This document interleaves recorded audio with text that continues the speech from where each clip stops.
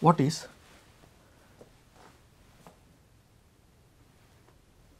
the line current drawn by the motor.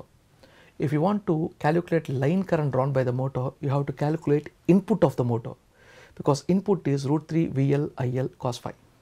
So, we have input is equal to output plus losses. What is the ultimate shaft output given in the question?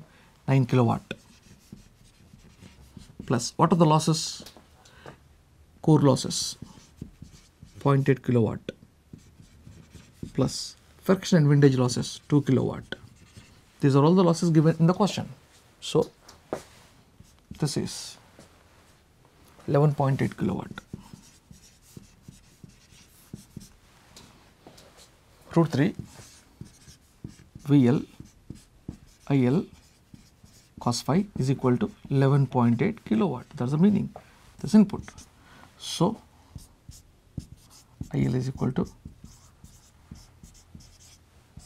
by root 3. What is the voltage rating? 400 volts. What is the operating power factor? 0.8. So, IL is